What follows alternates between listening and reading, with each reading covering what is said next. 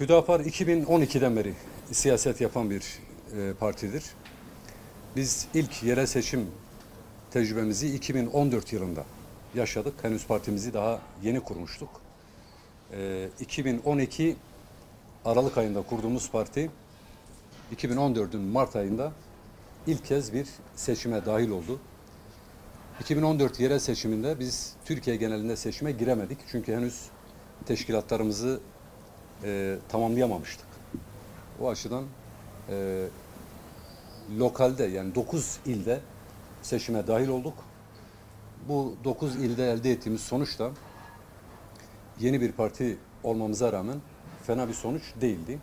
İlk girdiğimiz yerel seçimde biz 90 bin oy aldık.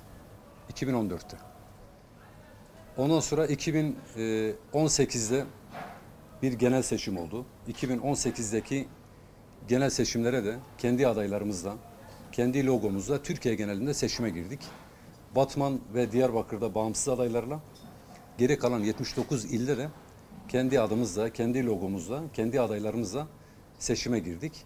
Tabii ondan önce 2015'te bir genel seçim olmuştu. Orada da bağımsız adaylarla yine lokalde girmiştik. O yüzden o kısmına çok girmeyeyim. 2018'deki genel seçim de milletvekili genel seçimleri bizim açımızdan e, ilk tecrübe oldu. O seçimde de 206 bin oy aldık Türkiye genelinde. Yani 2014'te 90 bin, 2018'de 206 bin civarında yüzde yüzden fazla bir artışla e, bu seçimi de atlattık. 2019 yerel seçimlerine de seçimlere katılmama yönünde bir karar aldığımız için dahil olmadık. Dolayısıyla 2024 mahalle idareler seçimi Hüdapar'ın ikinci yerel seçimi oldu. Ama Türkiye geneli olması hasebiyle aslında ilk yerel seçimi oldu. 2024 yerel seçimleriyle ilgili de tabii ki aradan 10 yıl geçti. 2014'ten 2024'e kadar parti de hem siyasi yürüyüşü itibarıyla hem Türkiye'de tanınma oranı itibarıyla hem de ürettiği siyaset ve politikalar itibarıyla 10 sene önceki pozisyonda değil kuşkusuz. Yani az da olsa veya istediğimiz düzeyde olmasa da bir mesafe alındığını biz de görüyoruz, milletimiz de görüyor, halkımız da görüyor. Bu seçimlere de biz en iyi şekilde hazırlandık ve Türkiye genelinde kendi adaylarımızla, e, bütün seçim çevrelerinde kendi adaylarımızla seçime girme yönünde bir karar aldık. Türkiye'de e, en fazla belediye başkan adayı gösteren 8. partiyiz.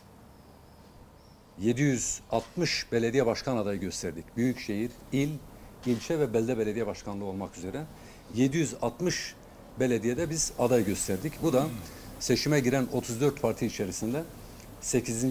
sıraya çıkardı bizi. Bu bizim açımızdan tabii ki e, önemli bir e, adım oldu. Çünkü henüz Türkiye'nin e, bazı vilayetlerinde teşkilatımız yok. 56 ilde teşkilatımız var.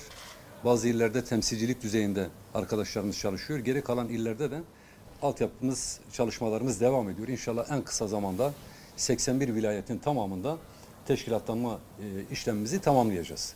Son iki seçimdir neredeyse Türkiye'de seçim kampanyasının merkezinde bütün partilerin seçim kampanyasının göbeğinde Hüdapar var.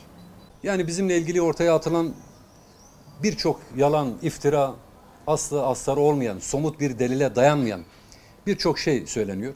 Bunların bir kısmını hukuki olarak cevaplıyoruz. Hatta bazıları ile ilgili iş mahkemelere taşınıyor. E, memleketin huzura ihtiyacı var, selamete ihtiyacı var düşüncesiyle bu süreçte sözlü, fiili, her türlü karalama, saldırı, tezvirat bunlara karşı metanetimizi koruyarak tavrımızı ortaya koyduk ve elhamdülillah bu memleketin daha büyük bir sıkıntı yaşamaması için biz üzerimize düşeni fazlasıyla yaptık. Ee, çok şükür milletimiz de bunu gördü.